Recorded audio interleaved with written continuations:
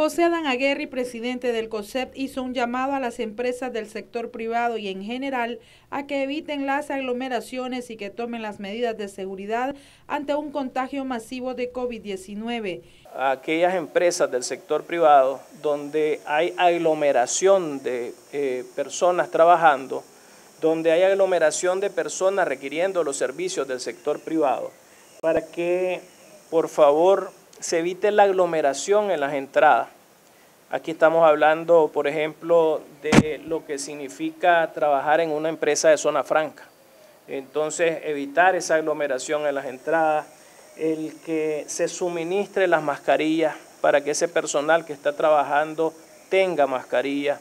Aquí es un tema de hacer lo que está en la responsabilidad de esas empresas para que los trabajadores de aquellas empresas, e insisto, que no son en este caso parte de COSEP, eh, pero sí que les corresponde también asumir ese, eh, esa responsabilidad, que se suministre esas mascarillas. En el mercado hay productos de aseo e higiene que no presentan calidad y no evitan el contagio del COVID-19, dijo José Adán Aguerri.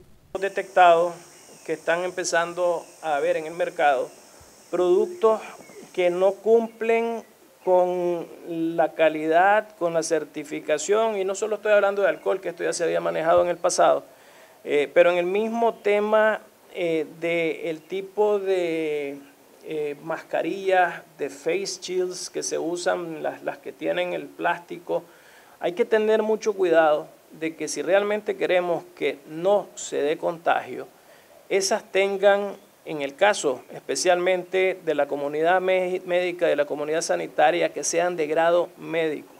No es cualquier tipo de mascarilla, no es una mascarilla que sí puede ayudar a un colaborador nuestro que atiende en un banco o que atiende en un supermercado. Eh, ese tipo de mascarilla no necesariamente tiene que ser de tipo grado médico, pero sí en el caso de los el personal que está atendiendo en el ámbito médico, todo ese eh, equipo tiene que ser grado médico.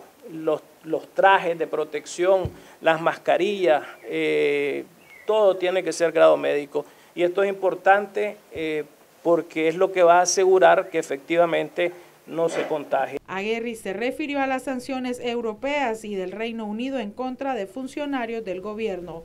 En relación a las eh, sanciones eh, que hemos visto esta semana, yo creo que aquí ha quedado claro que hay una posición hoy compartida.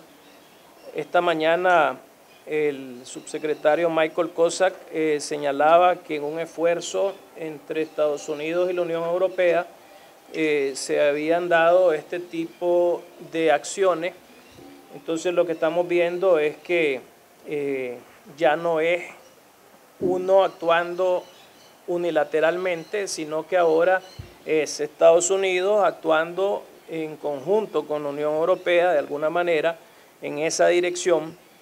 Esto significa que estamos llegando prácticamente a 30 países que están sancionando ya, en este caso a funcionarios, y que el mensaje, más allá de las sanciones, es la demanda que están planteando, en este caso, los que están sancionando. Y la demanda que ha quedado clara de parte de los dos eh, grupos, o de los dos, digamos, en este caso Estados Unidos y la Unión Europea, es la liberación de los presos políticos sin condición. Para Noticias 12, Castalia Zapata.